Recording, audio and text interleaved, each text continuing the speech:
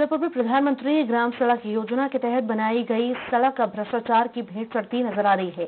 Bhopalpatnam block के वाडला से मट्टी मरका गाँव को जोड़ने के लिए विभाग द्वारा करीब डेढ़ करोड़ की लागत से साढ़े चार किलोमीटर सड़क का निर्माण करवाया गया था। निर्माण के महज आठ महीने बाद ही सड़क के परखच्चे उड़ गए। निर्माण कार्य रायगढ़ की गुप्ता कंस्ट्रक्शन कंपनी द्वारा करवाया गया।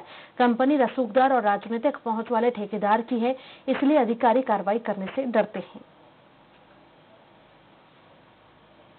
सर ये सड़क बहुत घटिया बना है और रोड अभी नहीं चढ़ा है सर और बारिश के समय तो बहुत घटिया हो जाता है। एकदम रोड मतलब गाड़ी वाड़ी चलेगा तो पूरा उखड़ के जाता है और मुरुम भी पतला बिछा है। इस बारे में मैं जिला कलेक्टर के डी कुंजाम साहब से और हमारे क्षेत्र विधायक माननीय विक्रम साहब मंडावी जी से भी चर्चा करूँगा और ठेकेदार पे क्या कार्रवाई होनी चाहिए, ये भी तय करके ठेकेदार के खिलाफ वास्तव में घटिया काम हुआ है तो अवश्य कार्रवाई कराई जाएगी।